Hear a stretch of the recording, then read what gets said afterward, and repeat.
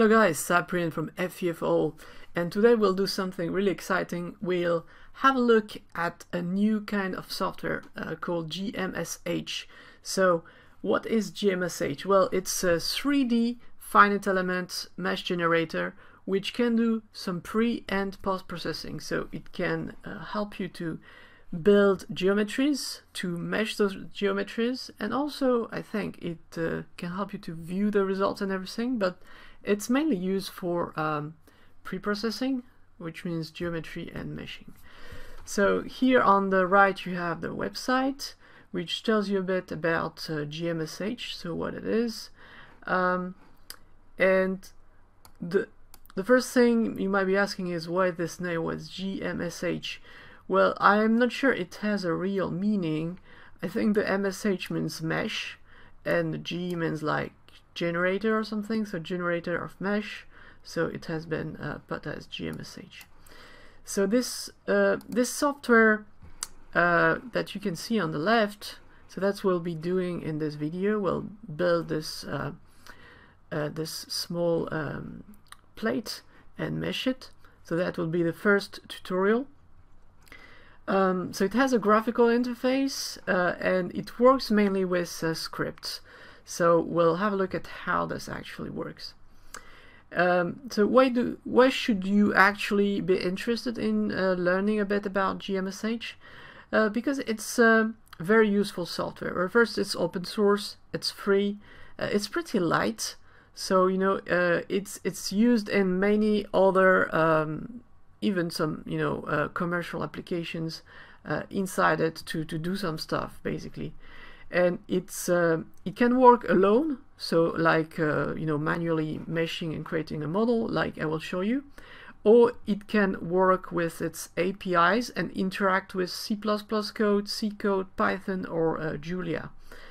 Um, so it, it's really useful to, to know a bit about it. Even if uh, you know you have better solution to generate mesh or easier solutions uh, it's always good to know a bit how GMSH works because you will find it almost everywhere. You know, if, if you're a user of Salome, for example, Salome has GMSH inside it. So uh, it will use some of those functions of GMSH uh, within Salome. Uh, so it, it's good, you know, to know how to install it, how to run a few models, how to generate some kind of mesh, and why not? You might even find it uh, you know good enough for you to to generate your models for uh, OpenFOAM or stuff like that when you really need something which is simple to use and uh, which is doesn't take a lot of uh, you know hard drive space or anything. Okay so let's go into it. Let's start with the installation of uh, the GMSH so on the website you have the download and you see that it's available on uh, Windows and Linux on Mac. Uh, you have the source code available. So you know I, I am currently doing this uh, tutorial on uh, Ubuntu but you you can use it also on Windows. So if you're on Windows just download the Windows version and you can do exactly the same that I will be doing. So uh, I'm just clicking here and I'm getting the latest version that I will save on my computer and um, after that I'll show you how it works. Just a quick note, this is the first video of a series of uh, those videos about GMSH and I don't know yet how many videos I will be doing but if you think this is interesting for you, uh, you like to study GMSH and they are something that you absolutely want to see um, so don't hesitate to let me know. Just put a comment as Cyprien, please teach me how to do this or that. Uh, and you know, I I see these kind of comments and I take them for the next videos to to create more of them, and it really uh, helps me also to continue on this series. So you know, uh, and I hope you like the videos and you subscribe to my channel as well.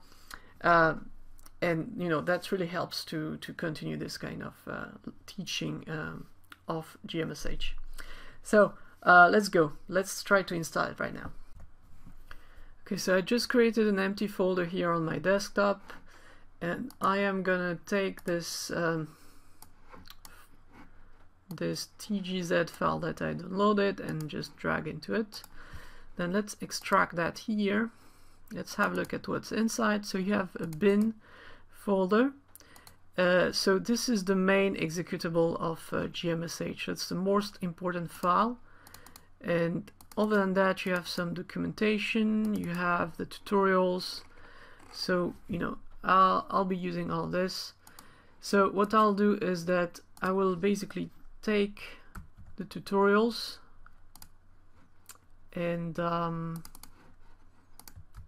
I'll paste it directly into this file here and uh, I'll take the executable as well paste it here for the moment I'll just uh, delete the other stuff because I will be just using this GMSH and those uh, tutorial files so um, let's have a quick look at the website and the documentation before actually uh, starting it just to telling us how to uh, use it so let's click on documentation. So you have a lot of stuff, licensing, general presentation. Um, general presentation maybe.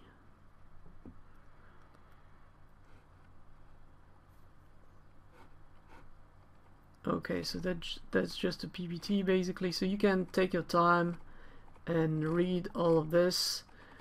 Um, I'm not going through all of this right now. It's a bit um, overcomplicated for now.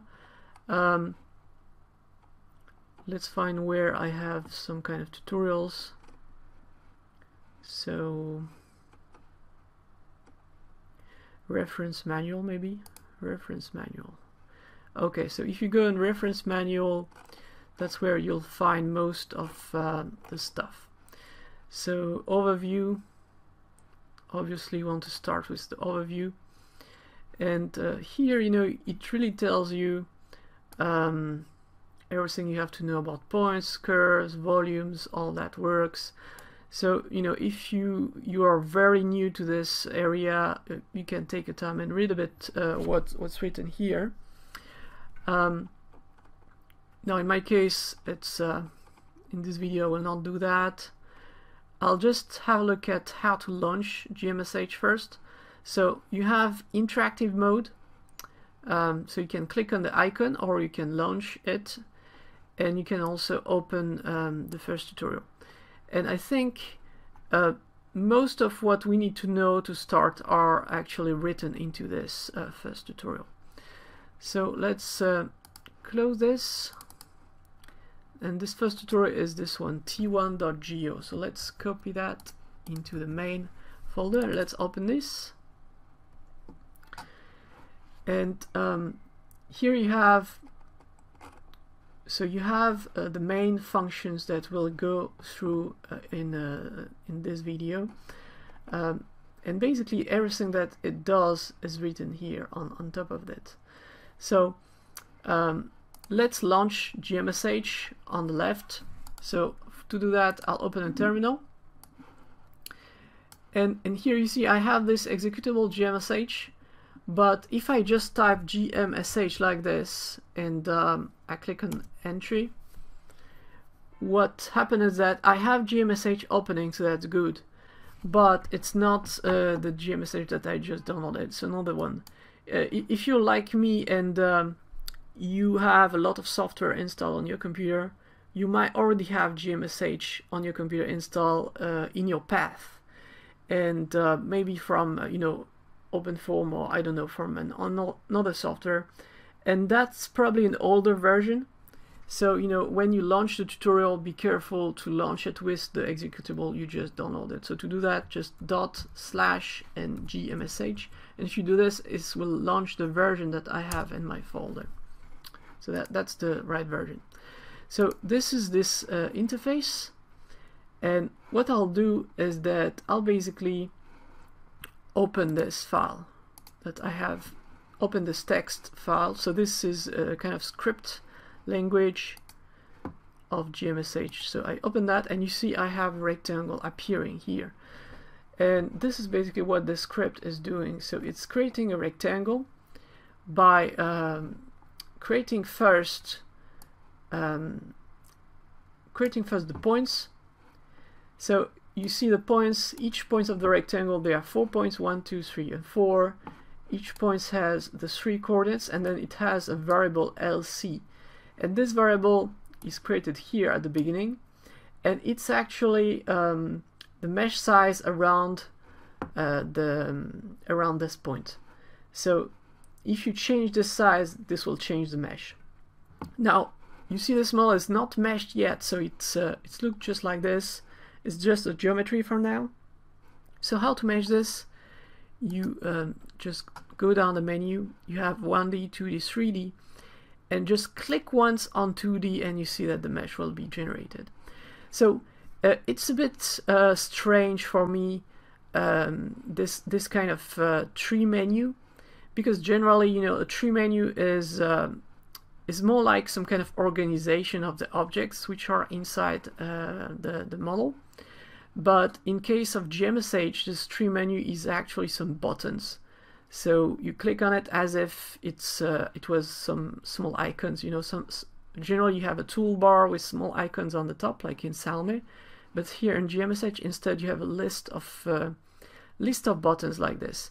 So when you click on 2D, it actually automatically execute the meshing and you have the texts which correspond to the action that has been done here on the bottom. So you don't see it at the beginning but if you get an error um, you feel like nothing's happening but generally you see on the bottom here and it will appear in red that something is wrong. So you, you still have this. You have also some camera option. If you click here on the small x y and z so you can change the view. So this is also pretty hidden. Um, and you know, and this uh, this is what the script does. So let's let's have a look at the script. Um, again, everything is written in text, but uh, I'm gonna go a bit faster than if you had to read everything. So you have the first point, you have three other points which are constructed, so it's basically creating four points, and then uh, then you have to create lines that basically um, link those points together. So line one goes from the uh, 0.1 to 0.2. So you see point, and there's a small number here. So this is the identifier or the tag corresponding to, to the point. So that's what we give here when we build a line. So we build points first, then we build lines. So we need four lines.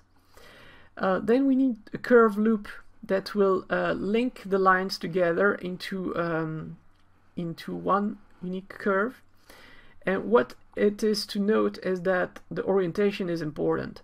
So you see the edges here, the lines have been constructed 1, 2, so 3, 2, 3, 4, and 4, 1. So when I go here, I go from the line number 4, which is 4, 1, then it takes the line 1, so 1, 2, and then minus 2, so it, it inverts basically the coordinate because it has to go from 2 to 3, not 3 to 2. So make careful when you build this orientation of these lines. Then you build a surface from the curve loop and um, and then you build this uh, physical curves. So those, you know, once you have the geometry, the surface and everything, generally you will be using this model for uh, FEA. So you'll be using another software after that, and you will need some groups to assign the loads, the boundary conditions, and uh, a bunch of other things. So this is where you basically give a name to your surface that you created. So here it's called my surface. Um, and all that are uh, other options you can like if you want to save in another format for example you have uh, the option save UNV so if I just um, so yeah first before showing that I created this mesh. Right now let's look at my folder. I have still those two. So how do I save that file, save mesh. And now if I look at my file, you see the MSH has been generated. So MSH, you can say it's the basic uh, format of GMSH. So that's um, that's what we you will uh, create by default. Now, if you want to create another um, another format, you can either use the um, export, and here you have the list of extension of uh, formats that you can save in. So it's good is that you, you can really um, export a lot of different formal like Abaqus, LSDyna, Nastran, um, Medfile, VTK. So have a lot of options and it's compatible with all those formats. So this is what is really uh, good also about GMSH is that it's compatible with a lot of other files. So if I want to export it into a UNV, so I just type t1.unv as the name file. Okay. Save. And you see that the UNV appears here. Now, um, if you don't want to open the graphical interface every time and just you want to process the geo, so let's suppress that. What you can do also is just um, called gmsh you give it the t1.geo uh, and you give it the option minus, uh, 2 and this will tell to generate automatically the, the mesh. So if you do that, it's automatically generating the MSH file. Now, if you want to convert in a certain format like this, you can also put it directly into your script. So I can uncomment this. Don't forget to save this file. And then if I again do this option you see that the TUNV is generated. So you can go much faster than going through the graphical interface. Now um, what's interesting also is that um, you can go a bit more um, interactive if you want to, to build something. And so let me let me show you how to do this if there's something in the model you're not satisfied with, for example the mesh size, um, you don't you don't want to mesh it that small, you want to increase a bit. So uh, what I told you that this parameter now is what is controlling the mesh size uh, because it uh, it's affected at the points. So if I increase like let's say three, I save this file. What I can do is the reload the script and click again on 2D and you see that the mesh size has updated. So you can change like that a bit the script and uh, for example instead of 03 I will move it to 05. Don't forget to save every time, reload the script and remesh and you see my model updates. So you can like that build your model a bit less um, a bit more interactively by um, using this command reload the script um, which is uh, pretty useful. So let's try by let's try creating a new script by ourselves by taking some of those functions uh, and to show you a bit uh, what kind of function you really need. So let's call that t1 I don't know t12 dot So it asks you which geometry kernel you want to use. So you have two Open Cascade of built-in. So Open Cascade is um, a bit different, different comments. Uh, sometimes easier to, to build some, some stuff, but it's a bit more advanced. So I'll use the built-in. So this is all built-in. And um, that's it. So this is the geo. So I can edit. If I click on edit the script, it automatically uh, open that. Uh, so let's start by taking some of those stuff here. So I'll take the same mesh size here, just put that here. And now I'm starting by, let's say I want to create a, one triangle. So what I'll do is that I'll create three points. So one, two, three. Change the indices, one, two, three, like that. And um, this will be 1 this will be 1 and uh, this is oh sorry. So let's start by 0 like that. 1 1 let's save that and let's reload the script and you see that my three points have appeared. So now I can see my triangle is uh, starting to look like a triangle. Now I need uh, three lines. So I'm just taking those lines here putting them here so one two three and I have to link the points one two um, two to three and three to one. Save. Let's reload. And now my triangle is uh, generated. Now I need um, this curve loop to create some kind of wire that will um, wire those together and this will be one one two three. Right? Let's try reload it doesn't give any errors so it's fine. Uh, we don't see much but it's it generated uh, the surface the, the loop. Now let's generate the surface from that. Still okay still no error now we can generate some groups as well. So for this example I don't really need some. Um, and I think my model is ready to mesh. So let's just click on 2D and you see that the meshing just appears.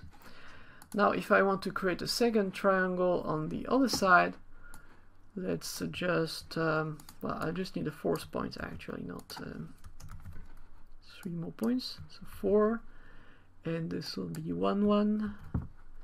So save that reload. Now I have a point which appears here. I need uh, two more lines. This will be four and five. And um, so four and five which will link so this this is the node uh, two. Two to four and this is a four to three. And um, and I already have this line here so I will reuse the line number three uh, line number two I think. This is yeah this is a line number two. So now I have to create one curve loop and second curve loop. Two uh, sorry one two and this curve loop will take so this is the edge. Two four five. Let's reload. Okay so I got two triangles. Let's so now I have only one surface so if I try to mesh that yeah it only meshed this this part as you can see because I didn't build this surface here. So I know if it works if I do, like this. One and two.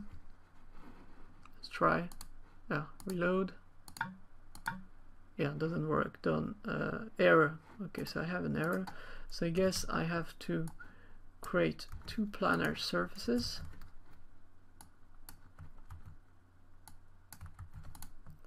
Save this. Reload. And um, when dimensions not be forming a closed loop two boundary nodes are considered once. So when you have an error somewhere you see that uh, you have some uh, error message. So the error here uh, is that I didn't respect the orientation when I created the second loop. So as you can see second loop is taking the line number two which is here. It taking the line number four and line number five but line number two is going to from two to three line number four is going to two to four. So the nodes node two should be uh, the line number two should be oriented in the other direction here. So it, it must go to 3 to 2, 2 to 4 and then 4 to 3 so if I do this I save again I reload the script and I mesh. You see that this time my two triangles are uh, meshed correctly. So finally, let's save that into um, UNV format, for example. So control and save UNV. And if I reload, execute and uh, save the mesh, I can see that my uh, okay UNV hasn't been exported, but I um, I have to run the script. So let's gmsh t1 2.geo and dash 2 to execute it. And you see that my writing T1. Uh, okay, yeah, it's it's actually exported as T1 because the name is here, so I should T1.2. Okay, and now that works. So